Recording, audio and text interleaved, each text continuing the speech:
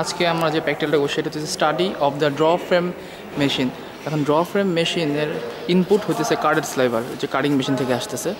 এই যে আমাদের কাটিং মেশিন থেকে ইনপুট কার্ডের স্লাইভার এগুলো। এটা কাটিং মেশিন আউটপুট আর এটা হচ্ছে আমাদের এই ড্র ফ্রেম মেশিনের ইনপুট হবে, এই কার্ডের স্লাইভারগুলো আচ্ছা এই ড্র ফ্রেম মেশিনের আউটপুট হবে ড্রন স্লাইভার এখন ড্র ফ্রেম মেশিন প্রধানত দুই প্রকার হয়। মডার্ন যেটা রেটার কোম্পানির তৈরি ইংল্যান্ডের আর যে কনভেনশনাল সেটা প্ল্যাটস ব্রাদার্স কনভেনশনাল এটা পুরাতন। এটা হচ্ছে ওইটা, ওই সামনেরটা। হ্যাঁ এটা হচ্ছে কনভেনশনাল ড্রফের মেশিন আর এটা হচ্ছে আমাদের মডার্ন ড্রফের মেশিন মডার্ন ড্রফের মেশিনের ইনপুট ইনপুট এই কারের স্লাইভার কারের স্লাইভারগুলো